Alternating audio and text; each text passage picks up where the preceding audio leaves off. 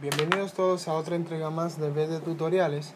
En el día de hoy vamos a hacer un tutorial sobre cómo dibujar mayores de cuentas T en Excel. Bueno, para aquellos que no saben un poco de qué va esto, eh, este tutorial está hecho para aquellas personas de estudiantes de contabilidad que regularmente tienen que hacer muchas tareas uh, manuales a lápiz y papel, lo cual dificulta un poco el proceso de, de, de, no tanto de aprendizaje, sino más bien de reconciliación de montos al final, eh, después de haber realizado los ejercicios, ya que como son estudiantes todavía, eh, buscar una diferencia de forma manual les resulta un poco más complejo. Eh, de esta forma también el tutorial estará acompañado de otro tutorial siguiente a este con la finalidad de, de esos datos que vayamos teniendo en nuestra cuenta de esos balances, pues vamos a montarlos entonces en, en, en, en, una balanza de comprobación al final de todo el ejercicio. Bueno, el primer ejercicio básico para hacer una cuenta T básicamente consiste en seleccionar en Excel, no mover el mouse, en dos columnas. ¿Por qué dos columnas? Bueno, porque las cuentas tienen dos lados de la balanza.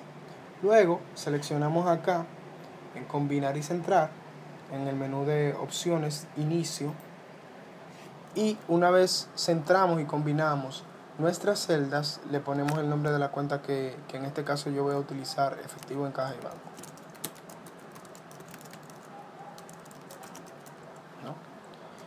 Podemos darle un formato negrita um, mover esto un poco hacia acá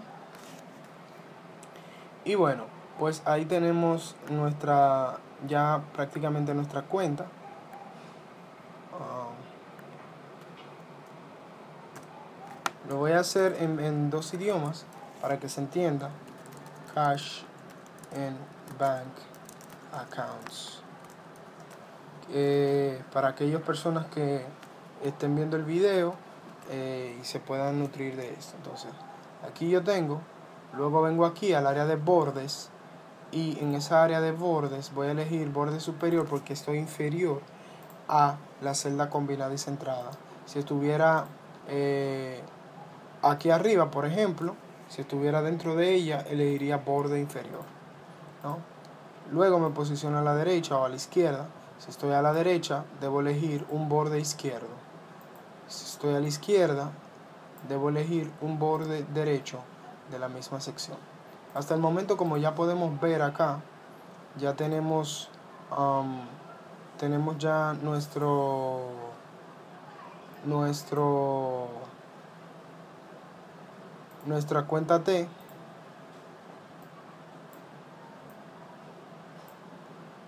¿No? Tenemos nuestra cuenta T. que puede ser eh, ya utilizada por nosotros.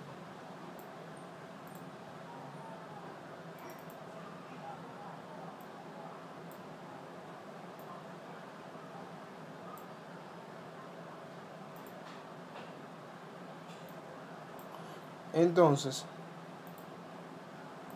exacto. Aquí, por ejemplo, podemos ver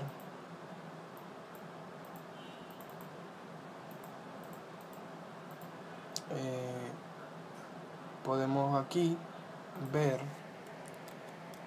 vamos a quitar esto vamos a aceptar aquí podemos ver el nombre de las cuentas. Exacto. Y ahí ya tenemos nuestro mayor de cuentas de hecho. Si queremos por ejemplo eh, incluirle a este mayor un área de balances debajo para balancear ambos lados de la cuenta solamente volvemos a borde y hacemos un borde inferior y superior ¿no? ahí podemos balancear nuestra cuenta colocando los montos a izquierda y derecha. En caso yo voy a incluir montos al azar porque no tengo entradas de diarios específicas para este ejercicio. ¿No? Entonces,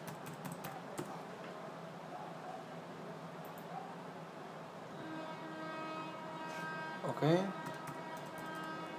para balancear para balancear usamos la función suma de Excel y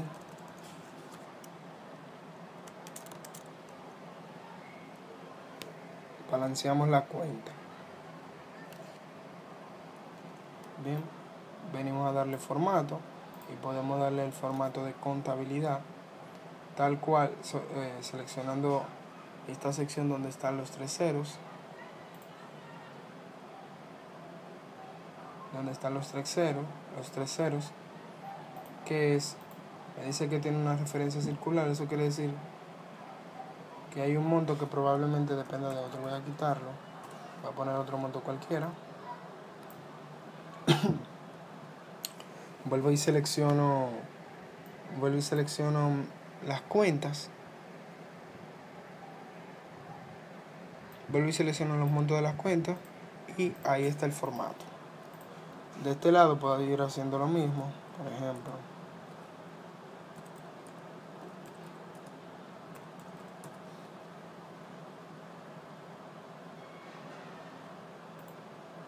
digamos que solamente tengamos saldo en el lado débito, es decir, que en este caso serían depósitos de la cuenta.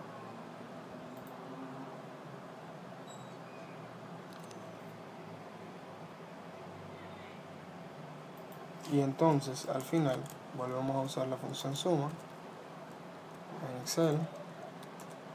Y ahí tenemos, ah, en este caso este sería el balance. Para este caso en específico las cuentas se balancean del lado donde tienen mayor monto, entonces, y el origen también. Eh, se balancean del lado del origen, como son cuentas de activos se balancean en el débito. En el caso de que el débito para una cuenta de activos quedaría negativo, entonces eh, debemos de saber que la cuenta está en negativo.